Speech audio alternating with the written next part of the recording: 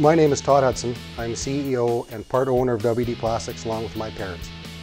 WD Plastics started in the early 90s by my father and one employee. We are in a 10,000 square foot building and at peak times we have upwards of 15 employees. My name is Keith Sawatsky. I'm the operations manager here at WD Plastics. And I think the big thing for our customers is a lot of times they just don't know where to start. We'll start with them from conception, help them develop an idea, keeping manufacturing in mind. Our abilities are endless. WD Plastics is made up of four divisions, one being our vacuum thermoforming. Our second division is our CNC router division. The third department we have here is acrylics fabrication department. And then we have our straight material sales. One of the unique things about WD Plastics comes from our experience in manufacturing.